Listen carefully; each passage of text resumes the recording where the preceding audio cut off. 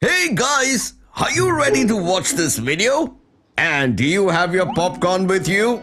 Just wait while I get mine ready. It will hardly take me a minute thanks to this wonderful microwave. Did you know that the microwave was an accidental invention? What? I was an accident?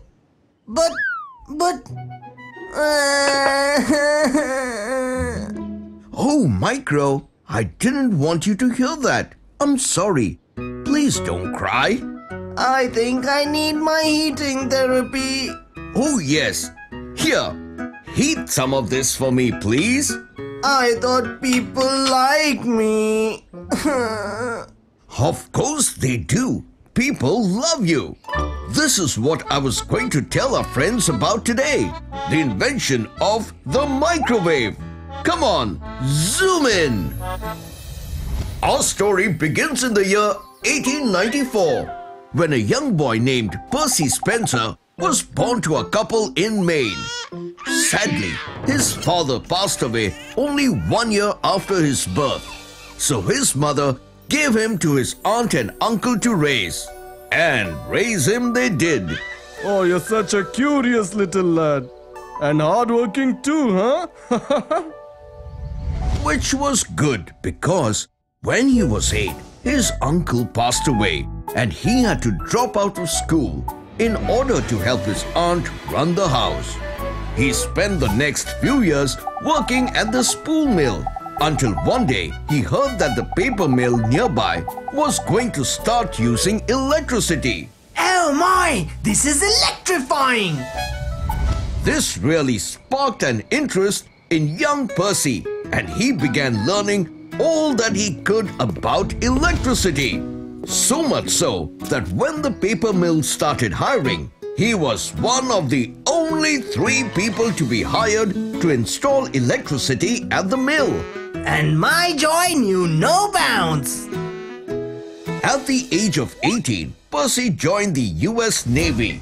This turn of events happened as Percy got interested in wireless communication after hearing about the wireless operators aboard the Titanic when it sank.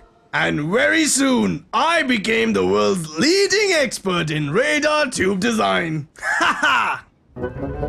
While building some radar equipment, Percy noticed that the peanut cluster bar in his pocket had become a gooey mess. But I hardly felt any heat there. And this incident sparked some great interest in me. I felt the need for more experiments and more tasks and experiments and this was making me so happy. So, he tried some corn kernels next and pop. They became popcorns. He even showed it to one of his colleagues, but switched the corn for an egg. Silly me. And the egg exploded.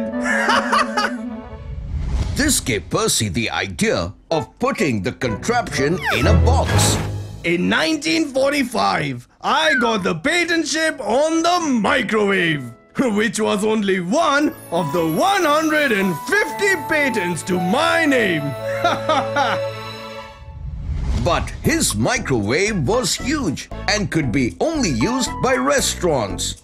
The first commercial microwave wasn't until 1972 and over the years, as the technology got better and better, the microwave became an inseparable part of any food industry and has now become an everyday household item. Hey, but my uses are more than what you guys think.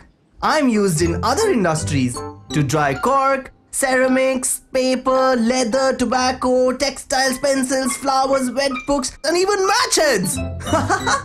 See? You're loved by everybody. Quite a history to our common kitchen appliance, don't you think? Oh, that's my favorite sound. Dr. Binocs, aren't we all heading for the... Trivia time!